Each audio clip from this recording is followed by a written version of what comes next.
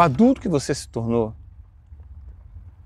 carrega em si a vida da essência dessa criança.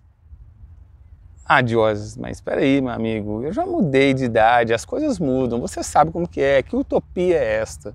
Não, eu compreendo e não estou fazendo essa reflexão. Eu sei que nós vamos crescer, nossa mentalidade cresce, nosso cérebro expande, nós temos um, um cérebro plástico, né, uma mentalidade totalmente, né, uma plasticidade. Eu sei que muitas rotas vão levar para outro caminho, mas estou falando da essência de quem você é.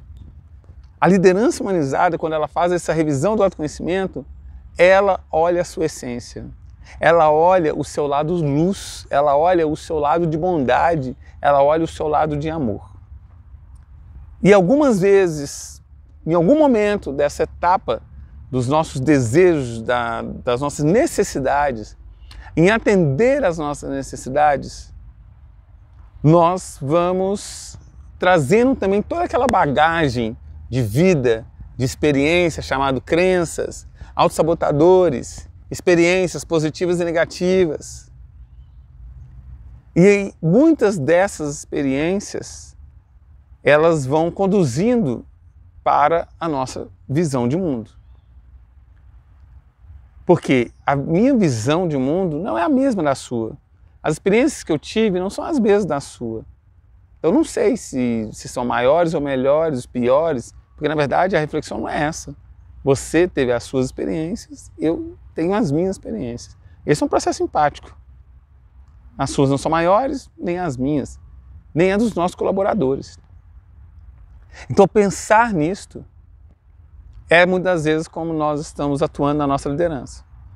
Você atua com medo, medo de perder a liderança, medo de perder as pessoas. E quando eu falo perder as pessoas, não estou falando nem só no seu campo profissional, mas medo de perder as pessoas na sua vida pessoal. Eu tinha um medo extremo de perder as pessoas na minha vida por causa das minhas crenças. Em outro momento a gente fala sobre isso. Mas dentro das, dessas crenças, eu me tornei uma pessoa, um homem totalmente possessivo, ciumento. Ciumento com a minha família, querendo organizar tudo, reger tudo. E o reger tudo não é dar o direito das pessoas, eu queria reger da minha forma, do meu jeito. Ciumento com namoradas, a ponto de, de sabe, de ser um, um, um, homem totalmente desnorteado psicologicamente por conta desse ciúme. Ciúme com amigos.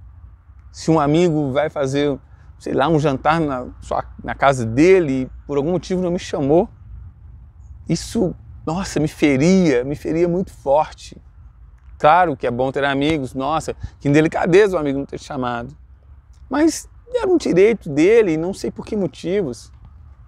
Mas esse, essa ferida ficava aberta. E por que essa ferida? Será que é porque o amigo não chamou? Talvez é por conta de experiências lá atrás. Experiências talvez com os pais que separaram, experiências talvez com as situações da vida, as, as, as, as coisas que foram colocadas, o que eu acreditava de que não iria dar certo, que eu não ia conquistar, que eu não ia conseguir, que eu não era capaz, de que sempre eu teria que ter o pior ou nada daquilo me era permitido. São tantas situações na nossa vida que vai, vão causando em nós uma visão de que nós não merecemos aquilo ou que nós precisamos desbravar. Nossa, né, um dinossauro, não é, nem, não é nem um leão por dia, um dinossauro, né? Para nós realmente sermos aceitos. E aí a questão da aceitação, a autoaceitação. Nós precisamos ser aceitos por quem, na verdade? Ah, queremos ser aceitos pelas pessoas. Mas será que nós somos aceitos por nós mesmos? Será que nós nos aceitamos como somos? Com as alegrias, com as tristezas, com os defeitos? Hein?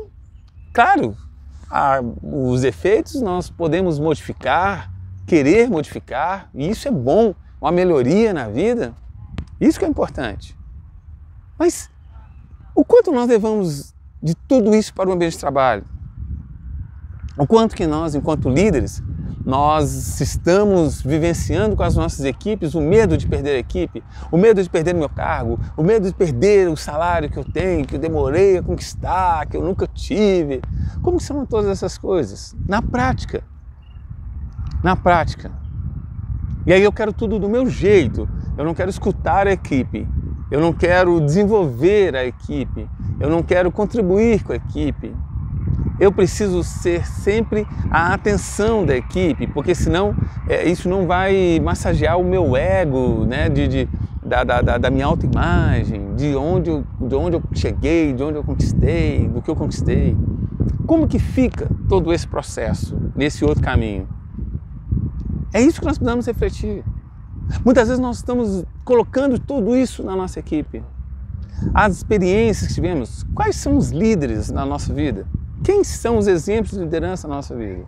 Então eu tenho a experiência de um professor, tenho a experiência de um pai. Como que foi a relação do seu pai com você, da sua mãe com você, de um professor positivo, negativo? O que é a faculdade, o que é a escola, o que é a televisão, o que é a mídia, o que as pessoas, na, na verdade, nos demonstram que nós precisamos ser cada dia mais competitivos. Então, o passar a perna no outro é correto. O não deixar que o outro evolua é correto? É isso. Será que é isso mesmo? Todo esse medo vai entrando no nosso dia a dia e nós vamos conscientemente ou pelos nossos subconscientes, nós vamos tratando as nossas equipes dessa forma, os nossos amigos, as nossas famílias, nos tratando dessa forma. E quando você se maltrata, você um dia vai pagar por isso. É, é chato, é forte talvez falar isso, né? mas sabe aquela coisa, o que nós plantamos, nós colhemos? Muitas pessoas se maltratam. Você se maltrata quando você não reconhece que você é alguém especial e merecedor de tudo na vida, de que você precisa ter boas experiências, de que você já tem tudo de bom e precisa reconhecer cada vez mais isso na sua vida. Só que muitas vezes a gente não reconhece, a gente fica fechado. Então, a nossa vida é sempre uma desgraça, a nossa vida é sempre algo de errado. Sempre tem alguém fazendo alguma coisa com, conosco. Ninguém tem o poder de fazer nada com a gente. Só a nossa mente tem o poder de fazer algo com a gente. E quem comanda essa mente, ou quem deveria realmente comandar a sua mente, é você. Sou eu. Não sei se você já escutou falar né, da grande pesquisa científica, o termo, né, profecia autorrealizável. Quando nós profetizamos algo, e nós profetizamos algo de vez em quando para nós mesmos. Isso não vai dar certo. Dinheiro na mão é vendaval. Ah, eu tenho dedo podre para namoro, para relacionamento. São tantas coisas. Não. Isso são todas crenças. Crenças é algo que você acredita. E aí você coloca isso. E de novo, não te julgo de ter essas crenças, porque eu sei onde elas vivem. De novo, não foi dos livros que eu tirei. Ou melhor, foi de um grande livro, chamado Livro da Minha Própria Vida. Por isso eu gosto de refletir isso com você, de te trazer a, a, a atenção para que busque se conhecer cada vez mais e acabar com as sombras da sua vida.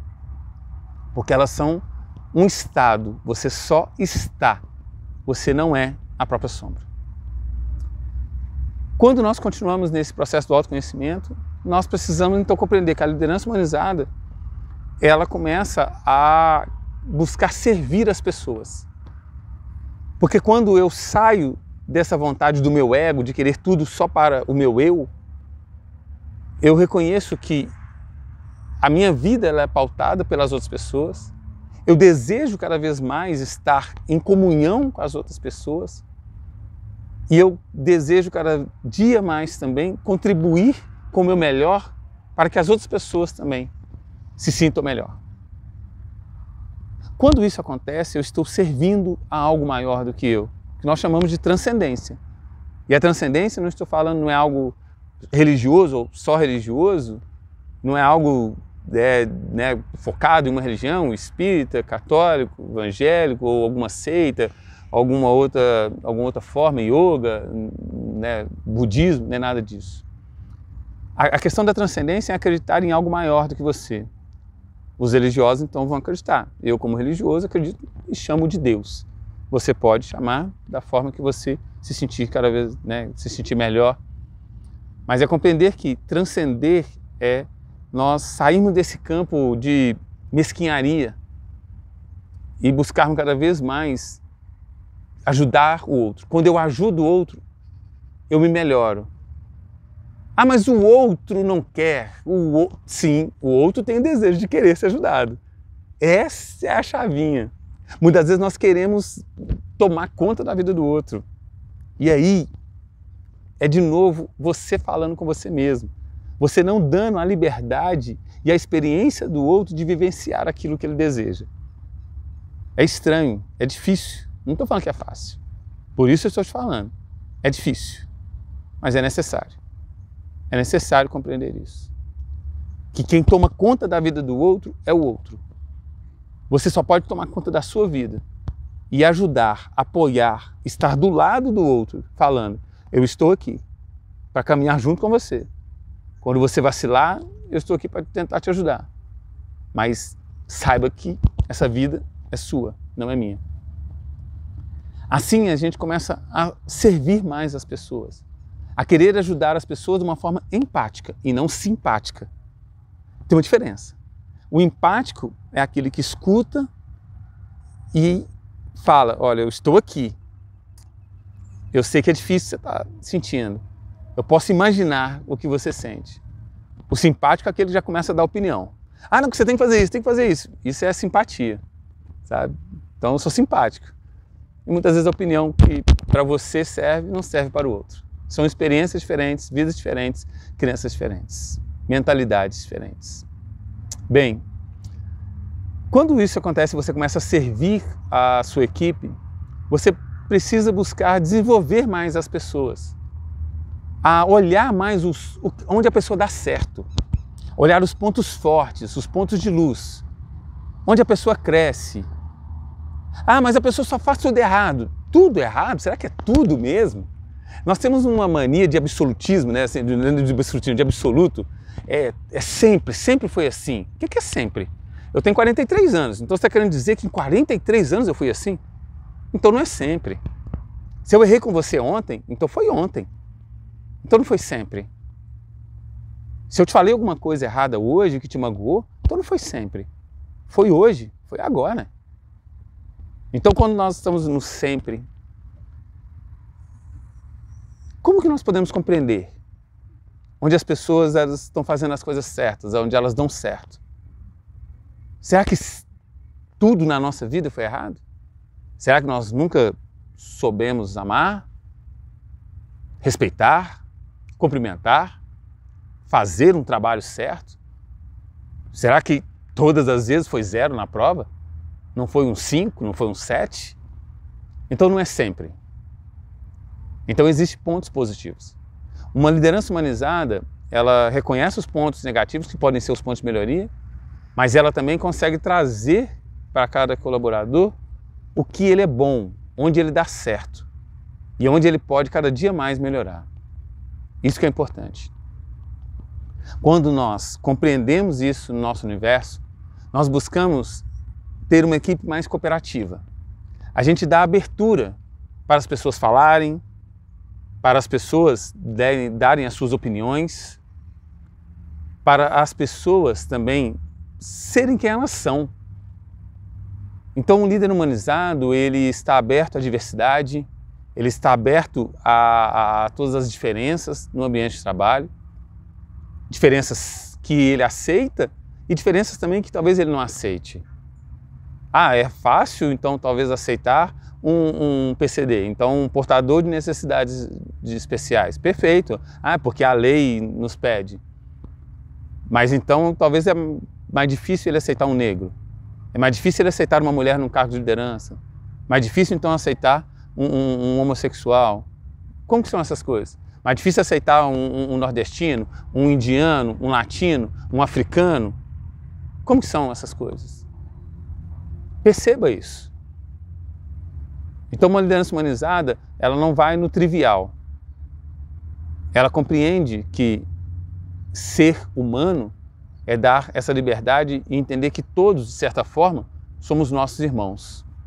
Mesmo talvez não com o mesmo sangue, não com a mesma familiaridade, mas se, se somos uma única humanidade, eu sou seu irmão, você é minha irmã e está tudo certo. Isso é trazer uma diferença para o nosso ambiente de trabalho. Respeitar as pessoas, ajudar as pessoas, querer que as pessoas se desenvolvam. E assim nós vamos construindo times fortes. Mas uma liderança humanizada, ela se preocupa também qual o impacto que ela tem, as suas ações têm para o nosso futuro. Que eu vou falar, na verdade, em presente. As lideranças das grandes empresas, será que elas estão preocupando com a própria natureza? Será que elas se preocupam com o que elas estão deixando para a nossa sociedade? Quando as empresas são cada dia mais extrativistas e elas querem acabar cada vez mais com o planeta, visando só o lucro, essa não é uma liderança humanizada. Ela está fazendo um desfavor para a humanidade. Uma liderança consciente, seguindo então a, a teoria do capitalismo consciente, é uma liderança que tem essa visão. Uma visão ampla de que o seu trabalho hoje local, ele também tem uma visão mundial e global. É assim que uma liderança humanizada, ou melhor dizendo, mais humanizada, vai se pontuando, fortalecendo. Ela busca formar novos líderes. Ela traz as pessoas para perto. Ela busca fortalecer cada um. Ela tenta que mostrar que cada um é líder de si mesmo, que cada um tenha uma forma diferente de fazer as coisas, mas cada um é responsável pelas suas conquistas e a conquista do todo. Novamente eu reforço, é uma liderança com uma filosofia mais ubuntu, uma filosofia onde todos fazemos para todos. Se um está fazendo algo para um, é errado. Um tenta fugir, um tenta trazer só o seu ego, está errado. Ou fazemos para todos, ou contribuímos para todos, ou nós não contribuímos para ninguém. Porque na verdade, quem perde sempre seremos nós. E uma liderança humanizada sabe disso e mostra isso para sua equipe ela dá feedback constante, sempre necessário, ela dá feed fórum, então ela não fica só remoendo em coisas passadas, ela tenta crescer, ela tenta desenvolver, ela doa o seu melhor. Ela tem uma inteligência emocional, ela tem paciência, ela fortalece. Não é passar a mão na cabeça. Tem gente que acha que liderança humanizada é aquela que vai, ah, é aquela que deixa fazer tudo. Não, não é aquela que deixa fazer tudo. É aquela que compreende qual o propósito, qual é a missão da empresa, ela busca conhecer cada dia mais o seu colaborador, ela conhece as pessoas, sabe, não pelo nome, ela busca saber da história, ela busca estar mais próximo cada dia mais. Então a pessoa não é um, um crachá, uma carteira de trabalho. A pessoa é uma pessoa que trabalha junto comigo. Isso é alinhar o nosso propósito de vida. Uma liderança humanizada, ela quer saber o sonho das pessoas. Qual é o seu sonho? Qual é a sua missão? Quais os seus desejos? Quando a pessoa traz o seu sonho, as suas expectativas, ela alinha esse propósito individual com o propósito da empresa. Não, não, hoje em dia, gente, não, não são só as, as empresas que têm as, o seu desejo, o seu propósito. O colaborador, independente do cargo que ele exerce, ele traz o seu propósito com a empresa, ele tem expectativas na empresa. Tem expectativa de receber no dia certo, tem expectativa de ter um local saudável para trabalhar, tem expectativa de ter relacionamentos saudáveis, pessoas que respeitem ele também respeite as pessoas. Todos têm expectativas. Então não é expectativa só do empregador. Essa visão é antiga, retógrada. Uma liderança humanizada sabe as pessoas têm necessidades e expectativas e ela quer saber quais são as expectativas para alinhar com as expectativas da empresa. Isso sim é nós falarmos de propósito, de missão, falar de valores. Bem, fica as dicas aí das leituras para que você possa cada vez mais fortalecer a sua liderança humanizada no seu ambiente de trabalho. E espero que você possa cada vez mais se autodesenvolver. Um forte abraço. Até mais.